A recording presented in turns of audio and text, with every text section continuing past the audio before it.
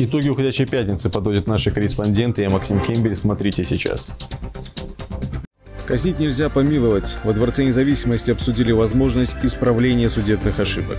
Предусмотреть возможность обжалования в апелляционном порядке и решения Верховного суда. Что еще предполагает новый проект? Любовь к делу и другие лекарства. Бобруйская дежурная аптека признана лучшей в Могилевской области. Больше на данный момент реализуется лекарственных средств от простуды и гриппа. Насколько вырос спрос? Хендмейд в стиле эпохи неолита. В центре Покрова открылась гончарная мастерская. В такой студии с такой современным оборудованием для работы с природной глиной в городе не было до этого.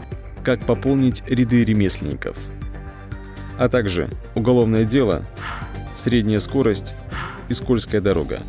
В выходные в Беларуси ожидается гололедица, каким будет температурный максимум.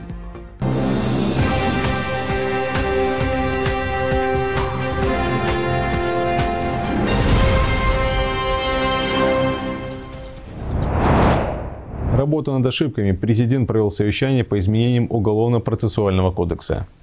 Новый законопроект предлагает дать право белорусам на обжалование всех постановлений без исключения, включая решение Верховного суда. Еще одна важная новелла – введение института кассации. Фактически это позволит дополнительно проверять приговоры, которые вступили в силу, но с которыми человек не согласен. Институт апелляции получил уже полное право в нашем судопроизводстве. Он полностью реализован. И сейчас стоит вопрос о том, чтобы этот институт распространить на решение Верховного суда, которые до настоящего времени являются окончательными, не подлежат апелляционному обжалованию и вступают в законную силу немедленно. То есть, если Верховный суд принял решение до вступления в силу, надо и решение Верховного суда проверять апелляционным порядке. Пока это не так. Пока Но мы хотим окончательно. ввести. Да, а мы предлагаем в первой части этого законопроекта как раз возможность, предусмотреть возможность обжалования в апелляционном порядке и решения Верховного суда. Для этого в Верховном суде будет создаваться специализированная инстанция, апелляционная инстанция. Нами проработан механизм создания этой судебной инстанции и структура ее. Она не потребует каких-то дополнительных бюджетных ассигнований, дополнительных структурных созданий преобразований. И это все будет образовано за счет существующей численности судей Верховного суда. Процесс обжалования совершенствуется, чтобы еще эффективнее обеспечить своевременное устранение допущенных ошибок. Подготовка обсуждаемых изменений кодекса началась два года назад. В целом, эффективности работы судебной системы всегда уделялось повышенное внимание. Идеальная рецептура. Бобруйская дежурная аптека признана лучшей в сети фармации. Учреждение единственное в стране, где выполняет максимальный объем функций, одобренных Минздравом. Плюс прямо здесь изготавливают и собственные микстуры. Как изменился поток покупателей в период пандемии, знает Карина Гуревич.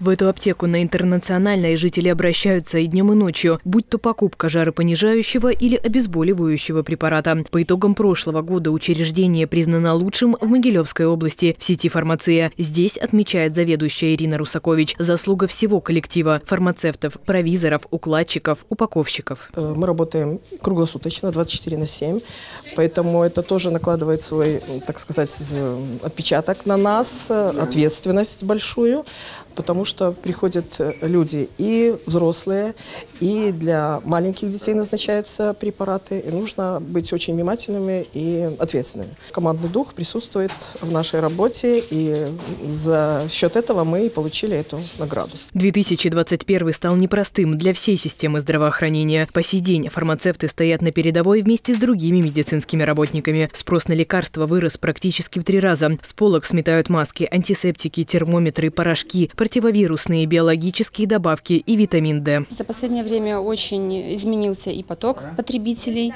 и количество ассортимент, и сам ассортимент изменился. Больше на данный момент реализуется лекарственных средств от простуды и гриппа, также для профилактики вирусных инфекций. Люди приходят с различными вопросами, будто температура, кашель, заложенность носа, боли в горле, совершенно различные вопросы, и мы для каждого потребителя подбираем соответствующее лечение. Здесь не только продают медикаменты, но и изготавливают собственные суспензии, эмульсии, мази, растворы и порошки. За местными микстурами приезжают даже из других городов. Такова специфика аптек первой категории. В Бобруйске их всего две, еще одна на Минской. Изготавливают лекарства по рецептам врача и индивидуально для каждого пациента. Используют максимально безопасные ингредиенты, такие как глюкоза, фурацилин и натриохлорид. Поэтому и срок годности у таких препаратов небольшой. По итогам 2021-го признание получила и аптека четвертой категории, которая расположена в первой поликлинике. Она заняла почетное второе место. На ее счету десятки тысяч проданных лекарств и тысячи обслуженных покупателей. Во время пятой волны коронавируса фармацевтические работники с уверенностью заявляют, поддерживать здоровье горожан – их главная задача. Карина Гуревич, Максим Галенко, Бобруйск, 360. Столичные происшествия, дополнительные места и красоты синевкой. В стране за пять лет планируют вести 73 туристических объекта. Громкие заголовки дня далее в специальном обзоре. На территории стройплощадки Минского метрополитена мужчину завалило грунтом. Спасателям пришлось копать вручную. Инцидент произошел возле строящейся станции Немаршанский сад. Смерть рабочего подтвердил Следственный комитет. Возбуждено уголовное дело. Допрашиваются свидетели, назначена экспертиза.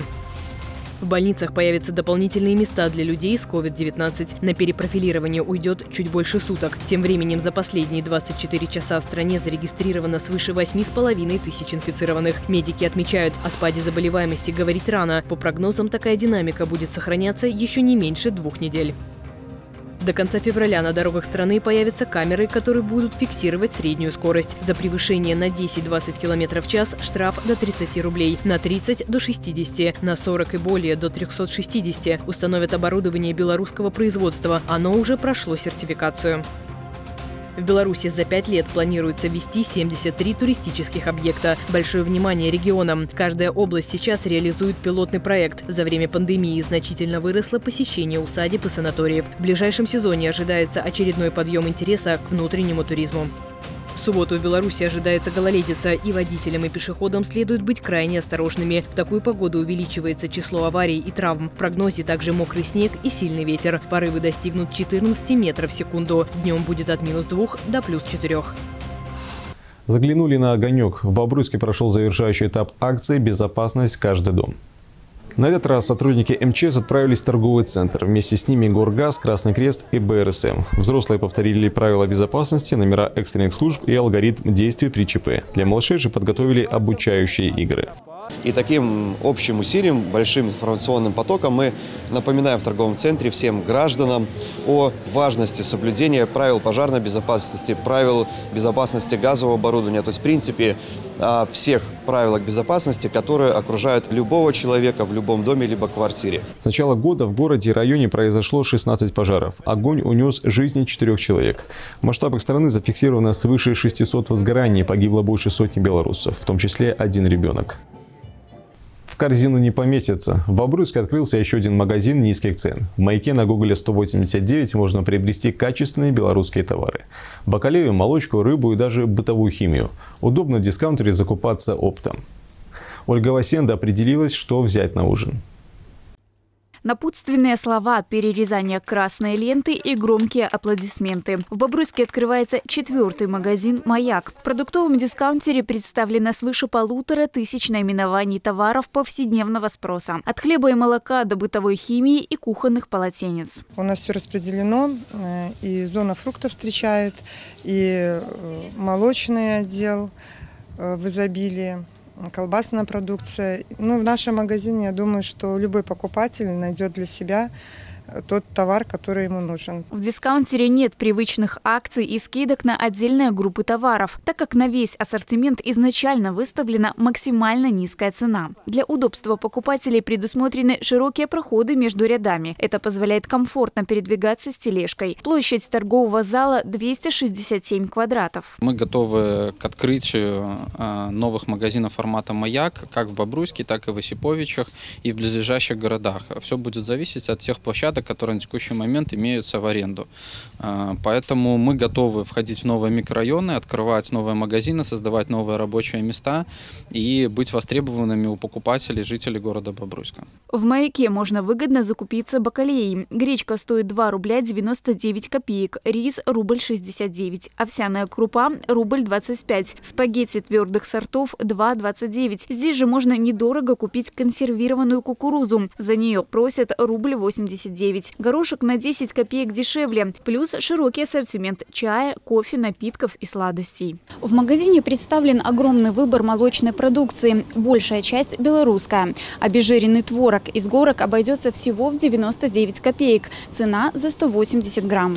В дискаунтере также большой выбор замороженной продукции, хлебобулочных изделий, фруктов, овощей и средств личной гигиены. Удобно здесь закупаться впрок. Многие товары выставлены на поддонах и палетах. Доступные цены привлекают не только обычных покупателей, но и владельцев небольших магазинов. Дешевле, чем в других магазинах, оно как бы вот так Рекомендуете бобручанам сюда прийти? Обязательно. Обязательно. Более те, кто рядышком живет, это просто магазин находка. Ну вот смотрю, дешевая вроде как колбаса стараюсь понравилось. Я думаю, что магазин должен прижиться, потому что и частный сектор рядом, и как бы общежитие, и здесь дома.